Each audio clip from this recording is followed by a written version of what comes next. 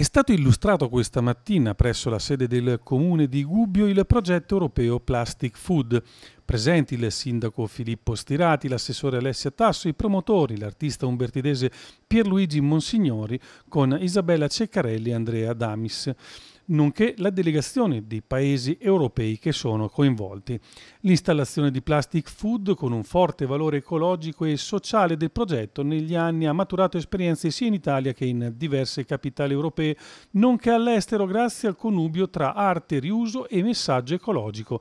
Il sindaco Filippo Stirati. Credo che eh, progettare in Europa, con l'Europa, sui grandi temi ecologici, per eh, creare ulteriori motivi di sensibilizzazione, di coinvolgimento della, della cittadinanza e eh, diciamo, insistere sulla consapevolezza che la salvaguardia ambientale e un'appropriata politica dei rifiuti è alla base di un salto di qualità della nostra organizzazione di vita, credo che sia un obiettivo strategico che dobbiamo darci.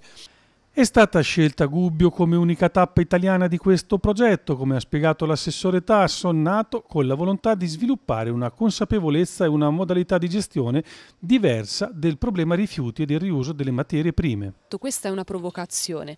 Noi lo abbiamo visto esposto nei giorni passati qui in Piazza Grande eh, per, con l'occasione di un'intervista con Canale 5. È un progetto che vuole far imbattere il cittadino comune nei luoghi che frequenta quotidianamente presente abitualmente in queste installazioni di, eh, che possiamo chiamare delle vere e proprie ecoballe di plastica.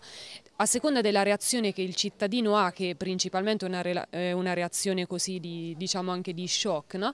eh, vogliamo, mh, il progetto vuole, mira a smuovere mh, le coscienze e a far riflettere i cittadini, anche più giovani, sulle abitudini che eh, teniamo quotidianamente. Abbiamo costituito un apposito ufficio per bandi e progetti europei per intercettare risorse e sviluppare strategie internazionali, ha affermato ancora l'assessore Tasso, soprattutto in tempi di forti difficoltà di bilancio.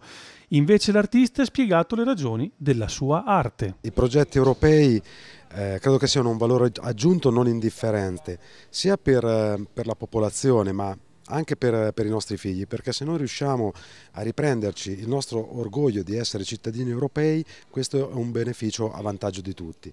Ed è importante proprio in questo momento in cui l'Europa eh, deve tenere duro, deve eh, stare unita per preservare quella che è la nostra tradizione e Gubbio è una de, credo una delle città in Italia più importanti con Piazza Grande, una delle piazze più belle d'Italia con le sue tradizioni, va preservata, va conservata per i nostri figli.